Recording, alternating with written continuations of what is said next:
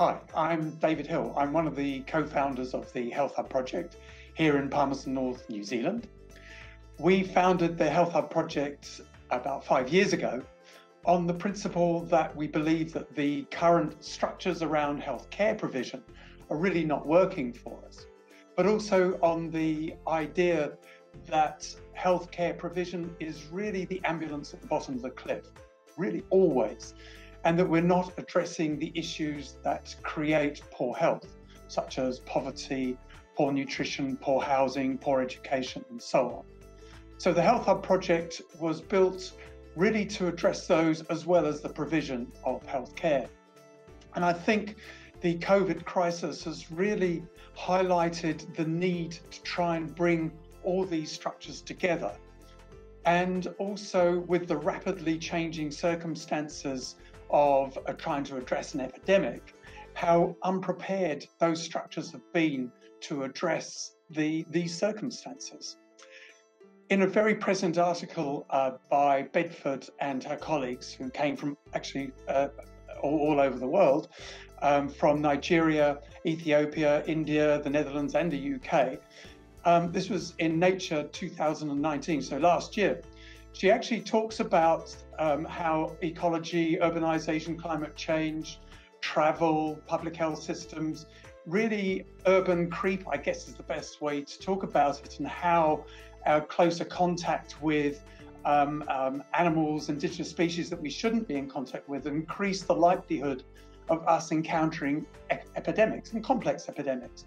And in fact, we're more likely to get these as time uh, uh, progresses. And what we really have to consider is our response to those crises.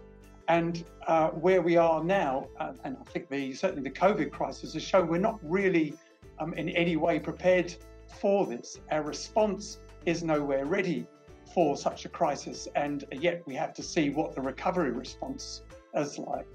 What she talks about in her article, which I think is the most um, important part, and I hope also you'll see the relevance of this in the talk, is that we have to combine knowledge and skills from all over the world and our own knowledge and skills um, to address this, bringing in people from different backgrounds social sciences, research, development, diplomacy, logistics, crisis management, epidemiology have become a real key issue in, in this current crisis.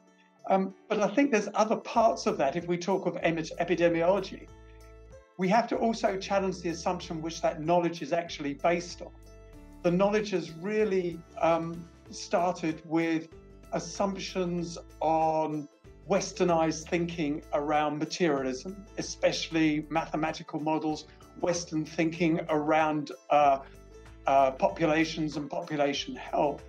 We could actually be learning a lot more from other ways of thinking from other cultures. So it's not just westernized thinking we need to bring into these constructs. We need to bring in other ways to alter our ways of thinking around such things as epidemiology, but also things like uh, our social sciences and research and development. So that kind of takes me onto the idea of, uh, of, of the talk COVID, Freud, and the small house at Allington. The idea of this is really to create a synthesis of thinking from the 19th century to where we are now, and how history um, and patterns of human behavior have really remained the same. And however, our, our, our thinking as a society has progressed. The sad thing is, I think our dominant structures have lagged substantially behind the way our society thinks, the way it's developed, the way our moral and ethical thinking has changed. And once, once again, I come back to the idea that COVID has actually shown that there has been a, a, a, real total disintegration of those structures and really demonstrated the fragility of those welfare systems. And if you look, for example, at some of the most advanced technological societies in the world, USA in particular, where the healthcare system and the like has just failed really to deal with the outbreak of, of COVID. It's just um, basically disintegrated. It's also demonstrated that underbelly, really, of vulnerability of our societies, how the progression of neoliberal thinking and neoliberal economics has demonstrated how precarious many of our people are. In New Zealand, it's expected that probably around 18 to 20% of our population live in a precarious way. What do I mean by precarity? It means those people who really don't know where their next dollar's coming from. It doesn't mean to say that they're not working. They may have multiple jobs, but they don't necessarily know where that next dollar's coming from. Certainly, this crisis will make sure that that state is intensified. More people will be living precariously. Well, the, the Small House in Allington was actually a, a, a book by, by Trollope. Um, the Victorian novelists use a lot of, if, if everybody's, uh, anybody's, well, most of the Victorian novelists, but Trollope uh, in particular, use a lot of words. The, the nice word that uh, covers this is called prolix. We call it obfuscation, a lot of words to cover up what we intend to mean. And uh, also uses class. And it's a literary uh, a means of actually avoiding what we're trying to get at, what explicitly we're trying to say. And what we're trying, in, in terms of Trollope, of course, is obvious references to sex. Uh, what he also uses obvious references is to wealth and differences of wealth and class. And I'll use an example, and this is an example used by uh, Professor Cohen, who's professor of literature at Maryland University um, in his uh, his thesis called Trollope's Trollop, which is a nice, elegant play on words, which he published in 1995. And he uses a, a, an example of Freud's uh, Dora analysis of case of hysteria. On that day, she wore at her waist a small reticule of a shape which had just come into fashion. And as she lay on the sofa and talked, she kept playing with it, opening it, putting a finger in it, and shutting it again, and so on. Now, this is clearly a reference, as Freud said, to uh, masturbation and wanting uh, to play with their genitals. And Trollope's small house at Allington also refers to an old embittered squire who actually rented out her small house next to his large house to his sister-in-law. Uh, his his brother, in fact, died, and and the reference all the way through through through the novel is his need to um, have some kind of sexual relationship with either one of uh, his daughters, uh, one of the the the, the daughters, or or in fact uh, the widow. So the sexual intent is unverifiable, of course, but I think the parallels that we see with the use of language, obfuscation, prolix, lots of words, I can't help but see the link between the briefings that we get with COVID in particular, those daily briefings we see from our leaders throughout the world, and how they use words to avoid uh, uncomfortable truths, especially at the beginning of, of the, uh, the crisis. Um, the important one, I think, and I, and I, I have uh, the New Zealand Prime Minister up on the corner there, uh, Jacinda Ardern. There was a, a, a briefing in particular about two weeks ago where they did start talking about the preparation for the COVID crisis. And there was an admission, albeit a little bit under the microphone, saying that they were in no way ready to be able to deal with the COVID crisis as it hit New Zealand. Um, if you remember at the time, the number of ICU beds was somewhere between 120 and 130, and the number of ICU beds available in New Zealand was only around about 55 we didn't have the amount of testing we needed to see what the actual amount of disease was in New Zealand. We were no ready, nowhere near ready. So the, the obvious pragmatic thing to do was to actually go into lockdown. I think history will tell that maybe it was the right thing. If you look at the other leaders, they dress in a way that is appropriate for what we describe as leadership here. Um, and also the leadership meetings. If you look at, uh, there's a, a, a, particular briefing um, which you'll see in the notes that I provide of President Trump's on the 20th of March, where he's actually fed with questions to actually show what a great leader he is and how he can uh, demonstrate his leadership skills of how we can deal with this uh, crisis. Basically, what we're doing is really obfuscating around the, the truth. We can't speak about the potential fate of people, the population, if this disease takes hold. And when we look at the disease in the United States now, we're beginning to see exactly what this truth is. And yet, at the beginning of the crisis, and as we still progress through the crisis and these news briefings, that people still aren't able to tell us their failings, they're unable to tell us the real truth about where this is actually going, partly because we don't know, but no one is actually prepared to say we don't know. And I'll actually ask the challenging question is, why is it we expected of our leaders to know everything? Why can't we actually demonstrate some kind of vulnerability to be able to say that actually we don't know? We don't know the answer to everything. What we have to actually also understand throughout history, if we take the example at the moment through the Syria crisis, what we have to understand, we just need to have a, a, an eminent speaker of truth. Our political responses throughout crises are usually grossly insufficient and they are unrepresentative of our views. Syria is a classic example. And I use this lovely picture here of speaking. We can speak with smiles, we can speak with suits on. So we present in a way as Trollope would like us, represent our class, and we speak with obfuscation and prolix. We say words, but they don't necessarily have meaning. The meaning can be lost in many, many words. But also, I wonder why. Appearance is absolutely everything. Why is it that we expect our leaders to appear in, in nice, clean suits as they're males with ties? Or why we expect our women to dress in a particular way? It's just as Trollope's characters actually had to dress in a particular way, and Trollope describes them beautifully, and they had to speak in a particular way, they had to eat in a particular way, and they had to talk each other in a particular way. We've sort of got away from the original idea of Aristotle's ethos, pathos, and logos, and we replace it with Armani and the dollar.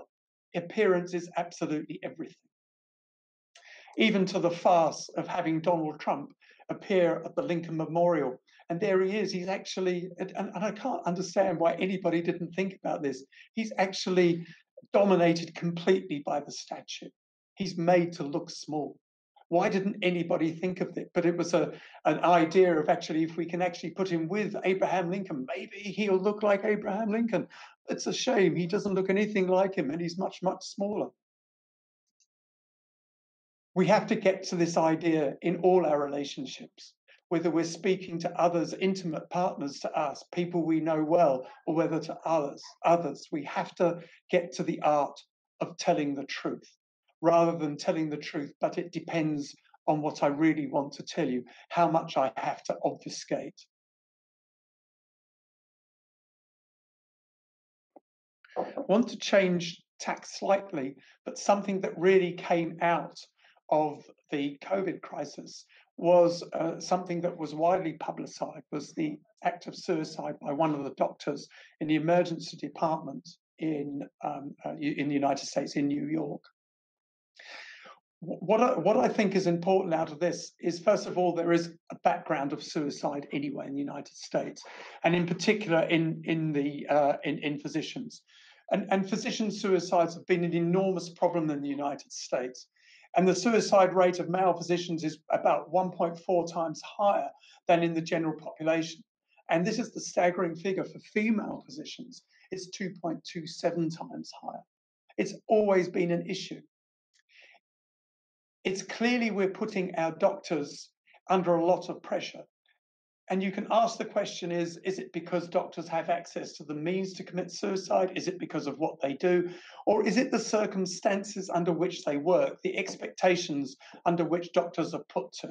And i'll talk a little bit about uh, about this in, in a minute about is, is this something that we have brought upon ourselves as a medical profession, or is it something, a combination of many things of history, the role that history expects of us, that the people expect of us, and it's something that we perpetuate?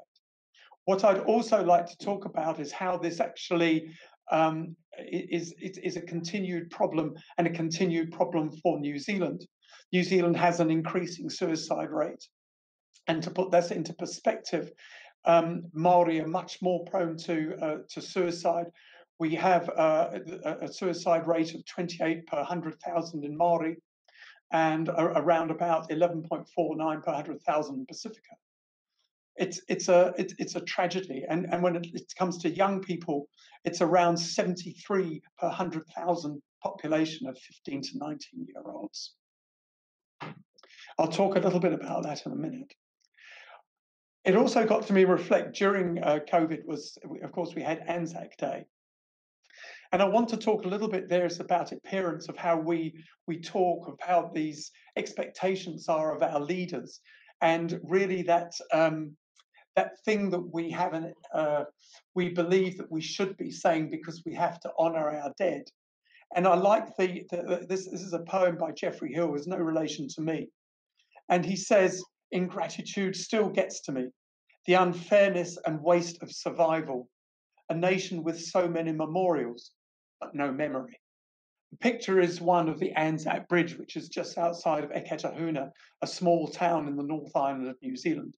And I also quote the Anzac Day speech by the Governor General of Australia, Patsy Reddy. She says, Today, the Anzac legacy should serve three purposes to call on us to thank those earlier generations for their sacrifice, to energize us in looking after our more recent veterans, and to inform us of what those earlier generations would expect of us today as we faced our generational test.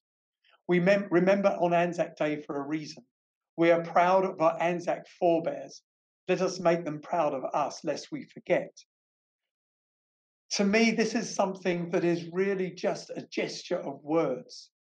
And I wonder how proud that my ancestors would be of when I see the children in New Zealand living in poverty. 20%, 27% of our children living in poverty. When I see the gap in wealth in New Zealand, when I see the health inequity in New Zealand, is that something that I should be proud of? What it actually says is that our systems, our structures are no longer serving the population well. It puts up this challenge of what is democracy? What is health democracy? It's a very challenging question. It's a very complex one. There are no simple answers, but we have to start addressing that issue. How do we start making changes so can we start providing and delivering health for everyone? I'm going to start off by looking at the medical profession. We all start off, and I'm no exception in this, we start off with that youth, that lovely idealism of joy of what we're trying to do, with a vision of what we can achieve in this, of trying to bring health care and caring for people. The structures, our training, the things that we are expected to do, not only what we see in terms of the violence that we face on a day to day, we face death. It's not only the death that we face with our patients, that's something that's acceptable in a level at a level because our training allows us to do that. But what is unacceptable is the structural violence we face within the system the hierarchical structures we face from our peers, the violence and bullying we face from those peers who are managing us, the intractable bureaucracies that inhibit and stop us doing what we should do, that gradually wear us down. And in that respect, here we are in the 21st century, and look at the structures that are no different. As a doctor, we go around the beds in the same way with the same hierarchy the doctor and the nurse and the patient subordinate in the bed. Nothing has changed. We have gone trying to go from cure rather than care, and we're still at that cure model. What we have to do is look at trying to manage long term conditions rather than acute care. And as we progress, and hopefully as we come out of uh, COVID, we have to look at how we can use modern technology to actually get towards a health and wellness model rather than just an acute care and sickness model. So, what we have to do is look at what those constraints are. To me, one of the great constraints has always been the bureaucracies. And of course, as, as clinicians and physicians, we're all part of that. We're all part of the system. And it's in our hands to start making those changes. I use an example. This is actually the new Christchurch Hospital Acute Services. It's over budget and over time. It was due to open in July 2018. It looks like it's not going to open now until probably late 2020. The original budget was 483 million. It looks now it'll be over half a billion dollars right now. In a broadcast on Sunday, March the 1st, it was suggested that already and it hasn't even opened yet, that it's at capacity. This is a building that has to last for another 20 years.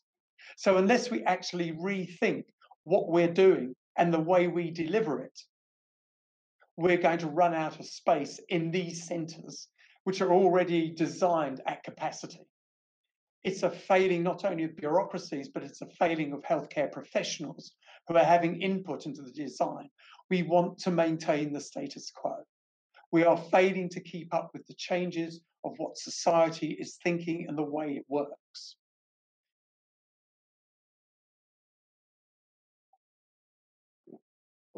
This takes me on a slightly different tack. I want to talk about how our society has actually changed in the way it works, the way it operates. And Professor Graves, Clare Graves and Ken Wilber, Brief History of Everything, these references will be available on the slideshow in the notes section. And what Clare Graves and Ken Wilber talk about is that society actually develops in cyclical patterns. It doesn't go in slow ways of development. It goes in a it goes to a slight uh, a, a, development to a cycle, and then it goes in a great leap to another cycle and a great leap to another one. The industrial revolution would be a good one, and I think at the moment we're on that that that that verge of going to another level. A great well, it's a, a great revolution, and maybe COVID is the great driver of this. What we have to make sure is that our structures and our organization are ready to actually deal with this, um, this readiness in our thinking as a society. Let's not get be pulled back by our politicians and the bureaucracies that support them and the bureaucracies that support our organizations. We have to be able to move rapidly to a new way of thinking so that we can start listening to what those voices in our communities really want us to do in order to make our lives better in this post COVID environment, especially with this avalanche, I think, of unemployment coming onto us. There was a lovely book published probably about two or three years ago, and this is really emphasizing the point that we're in a position on the verge of doing something, but we don't know quite what it is. This was a book published by a group of people from around New Zealand called the Interregnum, and it's probably better called the second interregnum. The first interregnum was the civil war in Britain in the 17th century. Um, and the interregnum is that period of time where there's something going to happen in political structures. We know that what we've currently got in terms of democracy isn't working as we should be, as it should be working. There's something needs to replace it, but we don't quite know what it is. And really, it's for us to start driving that. It's for us as a community as a population to start shaping what that should be. And I do, I do like this is um, this was one of the um, the protests around the the fires with uh, the, the, if you like, it's demonstrating that separation around what the people see and what they're demanding and what the government response was. And the other one, of course, is around climate change. And here we have this this direct effects of climate change the, the, the weather events that we see, the um, flooding and the fires of Australia, those indirect environmental effects from climate change, which will include the increased exposure to micro, microbial and contamination. It might well be the epidemics like uh, COVID, pollens, particulates, air, air pollution, and uh, in, in particular, the climate change will cause disruptions of health services. The disruption of health services being caused by COVID would be an example. Social economic factors, including migration, housing, livelihood disruption, stresses, food insecurity, and the socio-economic deprivation that comes out of it. Maybe we didn't expect to see it in this way from COVID, but can we see COVID as a direct effect of climate change because of that closeness, that urban creep, that relationship of, of animal um, animals and viruses carried by animals now directly affecting humans. The consequences of climate change will have an effect dramatically on mental health. And I have noticed that in my experience directly clinically during the COVID um, uh, lockdown. The important part of this, of course, climate change will not be spread evenly across populations. It will exacerbate socioeconomic and ethnic health inequalities and inequities. That's why we set this up, the Health Hub project, to look at those determinants of poor health. We must look at transport, we must look at food, we must look at agriculture, housing, waste, energy, industry, how we design urban areas, urban territories, water supply, radiation, nutrition, and health. It is vital that governments start listening to the voices of people. I think of the mental health inquiry, where they actually ask for a clear locus of responsibility for social well-being within central government. And our central government really seems to have denied that. We have to, it asks, it asks us to tackle the social determinants that impact on those multiple outcomes that lead to inequities within our society. It has to enhance that cross government investment in prevention of mental health issues. Poverty is a key driver of that. There is a close relationship between poverty, mental health issues, and suicide. It is an undeniable research established fact. The other thing, I talked just a little bit about precarity earlier.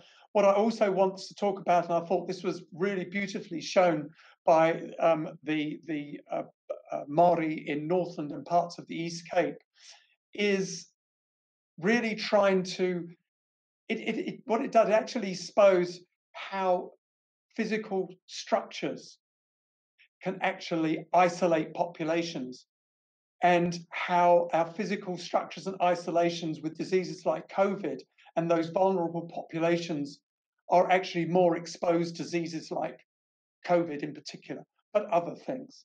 So what we what they did was actually isolated themselves even more from COVID than we were by just uh, by by the uh, uh, level three, level four uh, lockdown. It was the voice of people talking. We are vulnerable. We are more vulnerable than you. We need to close down. And I wonder if that was a white group if if if a white group had actually closed down parts of Auckland, whether or not it would have got the same publicity it does. What it actually exposed is that structural inequity that pervades our social uh, social order in New Zealand. This this is a slide that actually it's it's really uh, looks it's it's a very uh, quite a busy slide, and I do apologise. It's using the Gini index it's showing the relationship between income inequality and mental health. The higher the index, the greater the inequality between those have and those who those who do not have. And New Zealand's actually quite quite high up there.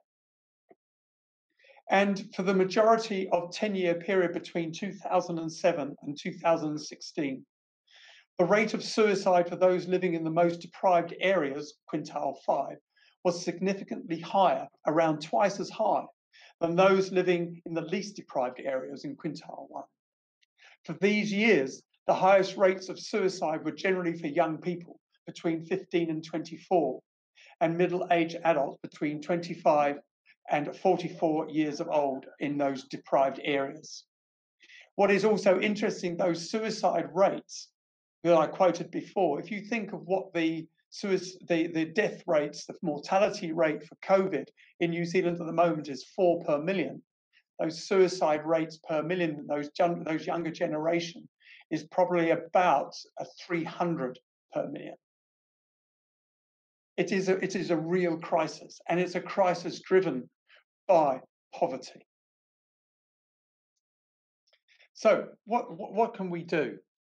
This is um, it's a, very busy slide, and I don't expect you to to um, uh, look, look, at detail in this.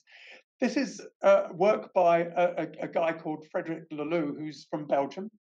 He he worked for one of the uh, consultancy companies that did um, uh, advice around organizational development, organizational progress basically he, he just got pissed off with actually talking to companies, advising them how to do things, and then taking not a blind bit of notice and just continue to do what they do. And what he's done is he used the work of uh, Professor Graves and Ken Wilber to try and generate a different way of thinking about how we can reinvent organizations. And it comes to my point that unless we actually rethink our structures and the way we create organizations, we can't be in any way ready to respond to change in an agile way. And that's what we have to be able to do. And at the Health Hub project, that's what we're trying to do. We're trying to create an organization that is agile enough to respond rapidly to the demands put on it by its population.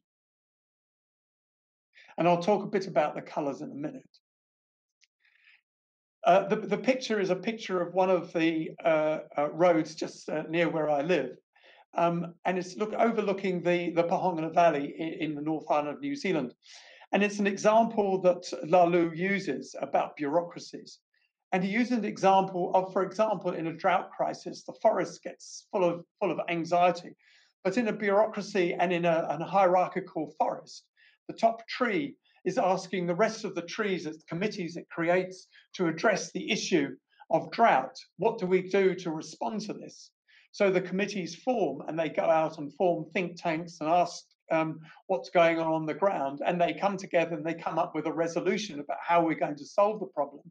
And they come back to the leader and say, well, this is our plan about how we're going to resolve this problem. And the leader thinks, oh, well, yes, it's a reasonable one, but I don't agree with all of it. Go back and rethink it and tell me when you've got an answer that I agree with. So they go out and rethink it, and they come back to him about uh, you know six months later and say, "Hey, we've got a solution for this." And then the leader looks over over the uh, the, the the plain and the forest and says, "Well, it's a great solution, but it's too late. The forest has died." This is what's happening in our crisis. Our bureaucracies are not able to deal with them. They are too cumbersome. These layers are self-serving and self-serving in terms of their own interests, political interests within themselves. They might be well-meaning individuals, but within the context of these bureaucracies are unable to deal adequately with crisis. They're not agile.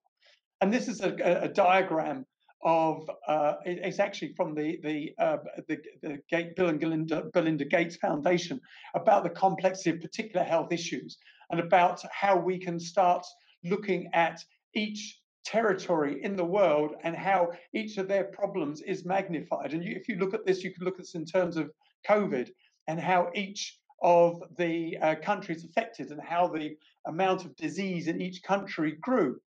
And you can see the complexity of the problem and you can see the complexity of the response that's needed in order to address it. So our structures are not able to, to address it. Our structures in New Zealand were not able to address it. We just responded by closing the country down so that our structures didn't have to respond to it. They weren't able to. It took time for them to actually gear up in order to be able to address it. We, we look at um, we look at solutions um, and you know the NH crisis NHS crisis in the UK will be an example. We look at solutions and say, hey, we need to change, put more money into it. And I just ask the question: Is actually money the solution? Um, there's a lot of uh, data published around uh, the, the, need to put more money into healthcare. We can put lots of money into, we can put the whole of GDP into it. It won't solve the problem unless we address the issue. The fundamental issue is we have to address wellness. We have to change the model from sickness to wellness. We have to uh, think leanly and strategically about how we reduce our bureaucracies. A third of our spending a third of our spending is waste. Over, if we look at the um, over the last decade or so, only probably about 50 to 60% of our care has been delivered in line with what we describe as level one evidence of consensus based on guidelines. So it's actually saying, hey, our care has been delivered. There's evidence to say this is adequate. This is what we should be doing. That's only 50 to 60% of it. Okay? And around a third of medicine, as I said, is waste. And there's no measurable effects or justification for this expenditure. So money is not the solution. The rate of adverse events across healthcare has remained about one in 10 for the last 25 years. So that wastage is also causing adverse events. Dealing with this stagnation is remarkably difficult. We have to deal with it in a new effective way. And this is why we talk about system wide. It can't be just at looking health. It has to be looking at all the ways, all the things that affect health, all the things that affect wellness. Just, uh, just looking at the the word, I've, I've, been a bit of a fan of Kafka in the past and remain a fan, and I love the way the word Kafkaesque has entered our, our vocabulary. And I talked about this when we talk about one of those um, things that affect doctor health and probably affects all of our health is when we encounter these bureaucracies where we find no way through. And you can understand the frustration that people feel when they have to go to MSD and they just can't get through the bureaucracy. That sense of anger when you don't have a way of actually being able to shake someone and say, Don't you get my position? This is where I'm at. How do I get out of this? Can't you understand? There is this big labyrinthine bureaucracy saturated by a state of paranoia. Oh, if I do this, my boss won't like this, and then their boss won't like that. So we're all susceptible to this sense of paranoia. Someone's watching me all the time. Let's get to a point of empowering those people who do the work to be able to respond to the person in front of them. It's actually what we described as actually creating a value for the person who is delivering the service to the person who's receiving the service. There was a lovely article published in the Harvard Business Review in 2017 by Kenneth Siegel. And what he says that bureaucracy is destroying value in innumerable ways. It includes slowing problem solving. It discourages innovation and it diverts huge amounts of resources and time into politicking and working the system. That's where we get the wastage. CEOs themselves are substantially less likely than frontline staff to see bureaucratic barriers in their organizations. And it is bureaucracy that's keeping healthcare from keeping getting us better. My next slide is really me anybody in healthcare or probably anybody with bureaucracies. And I think, particular in times of COVID, we're sitting there. We know there's a train coming. We know that the, the, the points are going to change and squash our fingers, and there's nothing we can do about it. There's a supply and demand uh, inequality, I suppose. Supply is grossly, grossly uh, way behind the demand. And it's the divisions and wealth driving poverty and equity and archaic systems that are also helping that. Population growth, population aging, disease prevalence incidence, service utilization, service price intensity, workforce expectations. What do, what do the people working in health healthcare expect? Um, what are the client expectations? What about workforce planning? What about the millennial, my generation's expectations? uh, IT, artificial intelligence, social media, all of things that are dividing um, our thinking around what is the supply and demand. What do I want out of healthcare? How is this affecting health democracy? I'm actually waiting. I know this is going to happen. And here I am in healthcare and healthcare delivery, waiting for it to happen. And I feel utterly powerless. The bureaucracy I have sitting around me are, are absolutely powerless to do anything about it.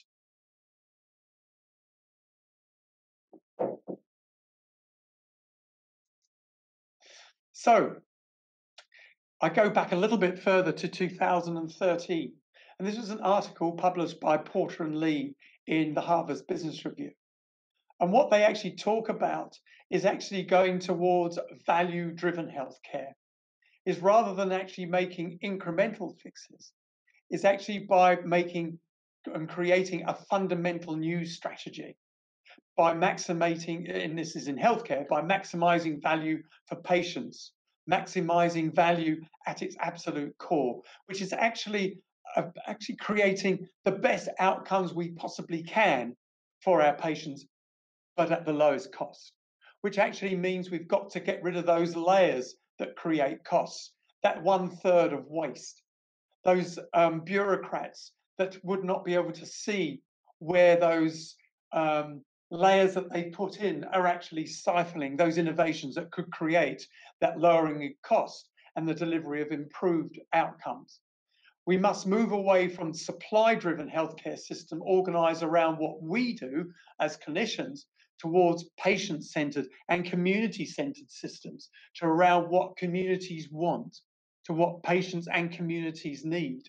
We've got to shift the focus away from volume and profitability of services provided, i.e., those physician visits, numbers of hospital procedures and tests, to the numbers of patient outcomes achieved. So it's not looking at hospitals and what hospitals deliver.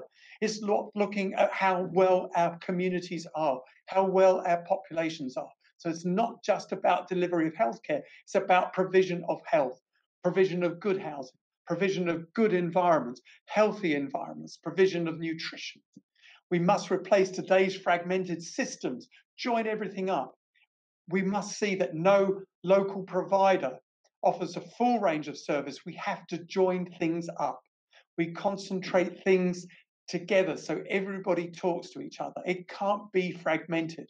So when a person comes to see a healthcare provider, that they can walk out of here knowing that they can go somewhere, they know where to go, that the key key to their care is is going to be delivered to them. They don't have to go and seek it.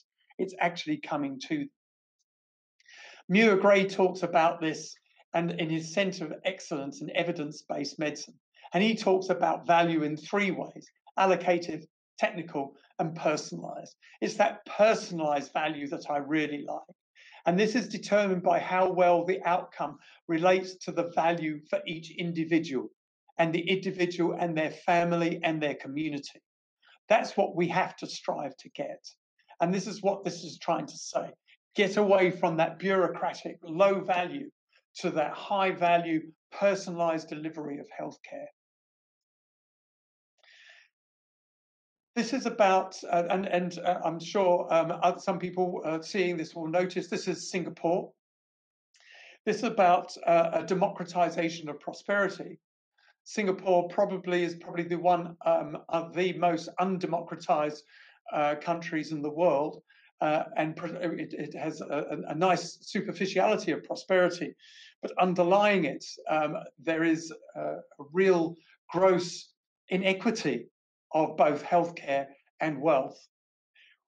And it's it's this really that got me thinking, in particular, about um, what health democracy actually is, and it's delivering health outcomes that are important for the individual. This idea of personalized value is delivering that health outcome for the individual and the context in which that individual lives. So we can't just see the wealth on the outside. It's what we feel as the individual, how that wealth affects me and how I see it for my family and my community. It's that democratization of prosperity. Um, this is an example of democratization uh, in my own experience. It's a, it, it may seem a little bit pathetic, but it, in, in living in the UK for many years, we used to support, a, or still do, a football club called Portsmouth, which is on the south coast. They, they, they went bankrupt through various uh, reasons. Um, corruption may well have been one of them, and also spending well beyond their means. Um, but basically, the uh, the, the, the, fans uh, took over the, the cup. They they raised money, um, uh, kept it kept it going. Um, it was led by the person in the centre of the picture called John, um, and uh, managed to raise money and find other investors and sustain the club. And the club is still going. Um, it's uh, nowhere near at its heights as, as, it was, but it's doing quite well. And it's the uh, Portsmouth Supporters Trust, I think, showed what can be achieved when people work together for the good of their community.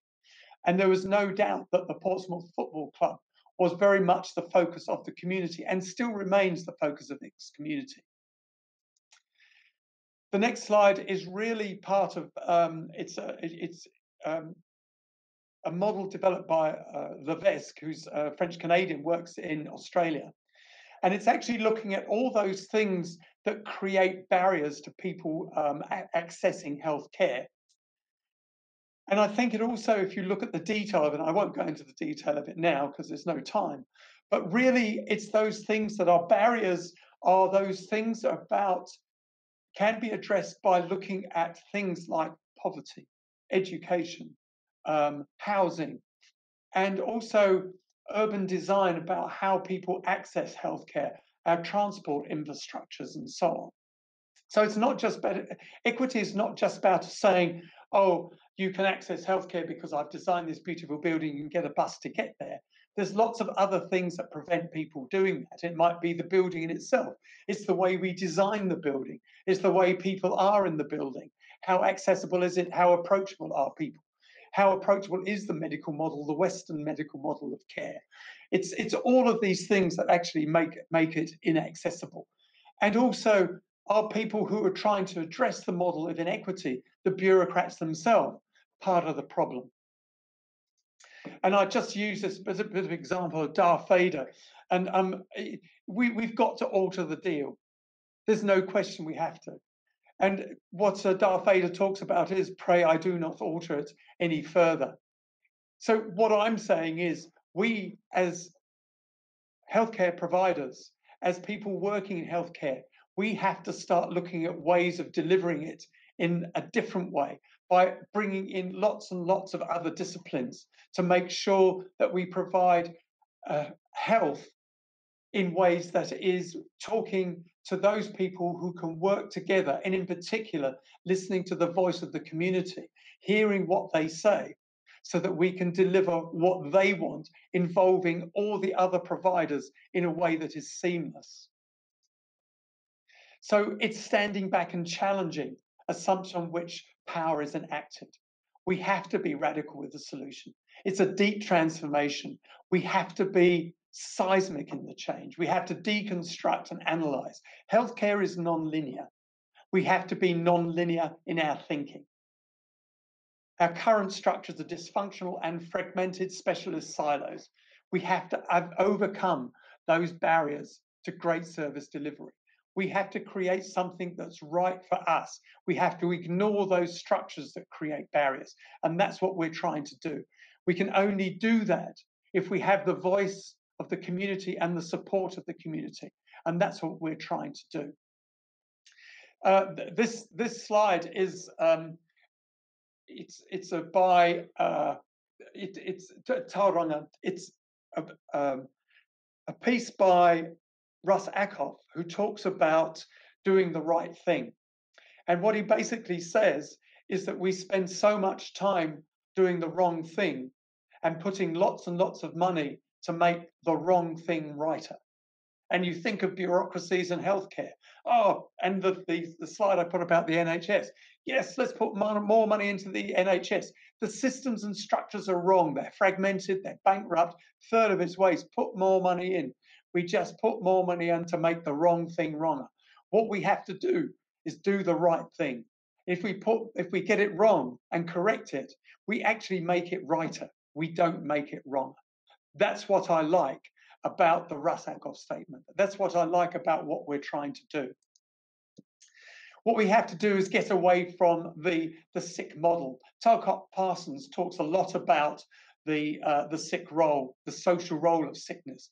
And of course, the Western model of healthcare really works nicely into that. And, and of course, in our role in healthcare, we see that. We see a lot of people consuming health, and our Health and Disability Act uh, labels our, our people coming seeking healthcare as consumers. It is a commodified entity. And in some ways, that's the thing that is driving demand. It's an unhealthy way of looking at it. So, what we have to do is change our way of thinking. It's the thing that drives cost, is making it more and more doctor centric and hospital centric. So, if I look at the model of the, the, the, the, wonderful McDonald's. Why is a McDonald's burger cheaper than a salad? Is because the major content of the beef burger is cheaper to provide. The beef is cheaper to produce. It may be because it's subsidized, but it's still cheaper to produce. If we look at healthcare, healthcare is really expensive. We focus on the provision of healthcare on a hospital base. The health care structures in hospitals are enormously expensive. And if you look at the recent budget, the money has actually been provided to hospitals. It's incredibly expensive. A lot of it will be consumed by the DHBs themselves. One third of it will be wasted. What we need to do is start thinking ways of redistributing that. So we want more in the communities, more at the bottom. We talk about an adult primary care physician shortage. What it is, is more accurately de- uh, described as a gap between the adult population's demand for service in the community and the capacity for us to deliver it. What we have to do is look at ways of delivering that care in the community a different way. Look at other people who can deliver that in a more effective way. We don't necessarily have to have doctors or nurses, highly trained clinicians delivering it on the ground. We want to provide healthcare people, people with knowledge, with the ability to communicate with those people with greater knowledge as they need to. We need more of those people on the ground to provide healthcare education, wellness education, and in particular, the things around, I'd just like to call it mental wellness. People working in communities, delivering those essential services. Why can't they actually work in the, the local dairy? Why can't they work in the community centres? Why can't they work in the libraries? But knowing that they have access to healthcare provision at a higher level with more knowledge if that is needed. The other issue that I think we have to address is the issue of selection of doctors. This is the, the number of Doctor Who's we've had. Those Doctor Who fans, I'm sure, will see that. And there's a nice little article in the Medical Teacher 2015 about selecting medical students. I think we've got it wrong. We're selecting the wrong people. And despite that abundant supply of really academically outstanding applicants to medical schools, and we see it, we're over overrun with number of people who can qualify. And in medical school selection, you basically take the top. But I wonder whether actually that's the right people. And the popular media implies that admissions committees are still getting it wrong in a significant number of instances. How can this be so? when our procedures are directed unashamedly at selecting the most highly academically and intellectually qualified students, the expectations is that they will make the best doctors. And you have to challenge that assumption. It's time to be radical in our change in emphasis in the way we select. Maybe we should be actually selecting not from the fact that they're academically gifted. We just need to select out those people who would not make suitable um, physicians or healthcare workers and take the, take those people who would be the most suitable, not necessarily because they're the most academically able. So we've got to get away from this idea of doctors, and we all been doing it. For, I've been doing it for the last 30 or 40 years, working in isolation, in the shadow of the giants, that past hanging over us, that expectation of ourselves being the font of all knowledge and wisdom, knowing everything. It's time that we actually start getting rid of those barriers of talking to others, of how we can share knowledge from others not necessarily in the medical profession. I'm actually don't want to keep working in the dark because I'm afraid of going out and asking people to say, I don't know, and then going home and having to think about the mistakes I might have made. It's really like working in a cage. I have to unleash myself. How many of us working in our current environments, whether it's in healthcare or otherwise, want to get out of that working environment? We want to be in a place where we can liberate ourselves to do the job that I feel I'm able to do at the point of delivery. I want to get away from the incumbent of a boss trying to tell me how to do my job better, whether I work in MSD, whether I work in hospital, whether I work in a shop, whether I work in a cafe. This is what Laloux talks about reinventing organizations. We're trying to get to a point of working in a teal organization. We want to become self managing, where those people doing the work manage themselves. They're delivering it, get them to answer the solutions to the problems that they face on a day to day basis. It's that idea of having an evolutionary purpose, serving and fulfilling the pe- people that we see on a day to day basis, making sure that we have a fulfilled life. If we're fulfilled, the people we serve have fulfilled lives. And I love the always the image of the trees. This is actually a, a painting by David Hockney called Woldgate, which is fragmentation to wholeness. That's what we as individuals have to achieve. We have to develop a wholeness in ourselves, develop a consciousness in ourselves, to understand where our egos inhibit and prevent ourselves from being ourselves in the context of what we're trying to do. It's this idea of delivering a teal organization, an organization that is able to work organically, to be able to respond to the needs of its population. I just love this. Uh, anybody who's a, um, a runner will know perhaps of the 12 Transcendence 3,100 mile race. It's the world's longest certified race It's uh, started in 1996. Um, and what it does, it, it, actually goes around Queens in New York. Um, it's 5,649 laps around one block in Jamaica, in Queens, in, in, in New York. It basically, they have 52 days in which to complete this. And they run from something like 6 a.m. to midnight, and they run on average around 60 miles every day. At the end of it, they get a prize. They might get a t shirt, a DVD, or maybe one of those little medals that everybody gets at the end, you know, the one you hang around your neck and you show to your relatives so proudly. The thing about it is, it's about that sense of fulfillment. It's about understanding yourself in the context of where you are. And what we want to be able to achieve is that in the workplace, that consciousness raising, so that we can be true to ourselves. If we're true to ourselves, we can be true to the others around us.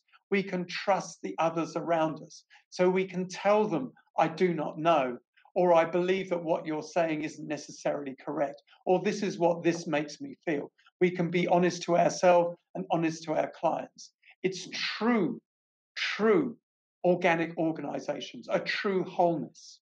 And that's what we started the Health Hub to try and deliver. So this is us. We designed the Health Hub project to deliver something that is different from what we currently deliver in healthcare the four co-founders, Pat Nolan, Helen, Andrew, and myself. Unfortunately and very sadly, Pat passed away on the 1st of May, um, uh, which I think is really ironic for someone who was a great believer in um, social justice, which is something we all share. So, what we're trying to achieve is not only social justice, but health justice. We've designed the health, health hub and the building itself so that we can communicate with each other in a transdisciplinary way. We want to be able to work with each other to follow the problem. It's a complex issue, and these are birds flocking. We want to become transdisciplinary way so that we don't necessarily have to talk to everybody. We just respond and sense to what's going on around us. We are a transdisciplinary team whose members develop sufficient trust and correspondence to engage and teach and learn across disciplinary boundaries. Team members have to entrust, prepare, and supervise the sharing of all of our functions. We need to talk what we call a common language. It can't just be the lingua franca where we can talk our own language, but we never understand what everybody else is saying. It can't be a Creole where you have a vague idea of what the other language is. Uh, it, it, it's, it's, sorry, we won't want to speak the uh, pidgin English, get my languages right, the pidgin English. We want to be able to speak Creole, the language where everybody understands what we're talking about, including the clients we relate to. It's bringing in all of those people, regardless of where they're from or who they are, to get towards this teal and actually ultimately that ability to transcend everything in a turquoise way.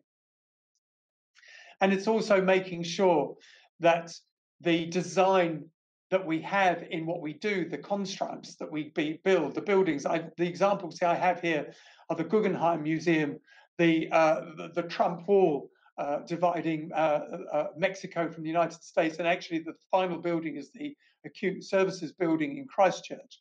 Uh, if anybody goes to the Guggenheim Muse- uh, Arts Building in, in Bilbao, if ever there was a building where design really suits purpose, it's that. It's it's beautifully architecturally designed, and it really fits in with the uh, with what's inside it.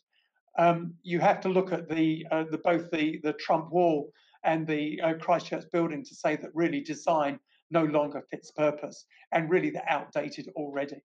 We have to start looking at really integrating design. The building on uh, on, on the, uh, the, the left is really constructing something that fits in with our environment and also has to have some kind of architectural purpose for it. So it has to fit in with our environment. It's idea of developing something that responds to our environment, but it's also contextually and consistent with the organization that we're trying to, to, to construct. The Health Hub project has set up itself both organizationally in trying to wayward to develop.